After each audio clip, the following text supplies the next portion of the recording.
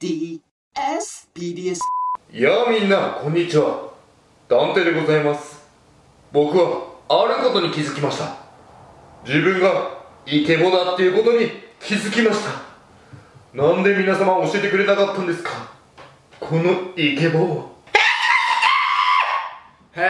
え僕ってどんな声ですか？みんなからして。多分僕のね頭の方からね自分の声聞いてもね自分がどんな声かってねあんま分かんないんですよ自分の耳でね他の人と同じように聞けてるかって言われるとね分かんないですよね。はい。だから僕ものすごくイケボで聞こえてるかもしれないですよ。はい。でみんなのイケボって何なんですか？思ったんですが。イケボって何なんだよ？イケボってなんなんだい？実はこの声が僕の本当の声なのさ。うことでね、今日はね、これを紹介していきます！シャンペーン！えー、シャンペーンサイダーなんとか製の糸引き飴はい、これ、駄菓子屋さんでやってました、僕、これ。1回10円で、紐を引くんですよ。で、紐を引いて、でかい飴をね、取ったらね、大当たりみたいな感じで、面白いんですよ。しかもこういう飴ね、美味しいんですよ。なんか、汚い、汚い感じの飴で、雑なんですけど、雑さの中にね、もう昔ながらの味が全部詰め込まれてるね、味がします。500円で買いました、これ。やばいですよね。男のロマン。ではね、開けてみましょういくぜうおーこんな感じになってますね。え、全部同じ大きさやんけ。あーでかいのあるでかいのあるでかいのある懐かしいやこれヤバンティーズだヤバンティーズあーこれ2個も入ってんだヤサッシングだねとりあえず箱に入れましょうこうなってんのかすげえめっちゃ綺麗。これマインクラフトのダイヤみたいですね。でどれが一番大きいんだろうってね調べるとうーん。普通にこれもうまそうですけどね。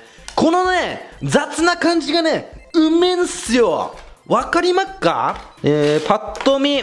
大きいですねこれも。思ったんですがこれ。量同じじゃね？潰しただけにしか見えないんだよ。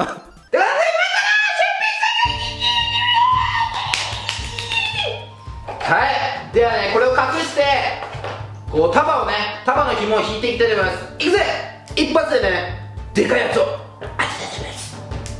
これだ。はっ。はっ。おー。え当たった当たった当たった。これこれこれ。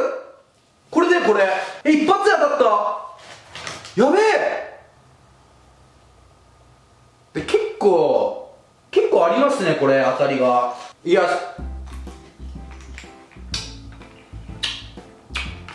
まあまあ美味しいですね。はい。やっぱこれ10円だからね。でも子供の頃はこれを美味しいって思ってね食べてたんですが大人になってね食べてみるとうーん普通以下だなってなってますね。僕が小学生の頃はもっとねでかいのと小さいのが分かれてたと思ってたんですよ。はい。でも実際買ってみるとそんなね差がないっていうね。はい、ってことなんでね、子供の頃にね、大量買いができなかった今だからこそね、できたことがね、夢が出ましたありがとうございますはい、ぜひね、みんなもね、これ見かけたら500円なんで、これ500円で買えるとかね、ファンタスティックベビーだよね、本当に。すごいですよね。だから10円で売られてたんで、60個あるってことは600円か。100円の儲けしかないね。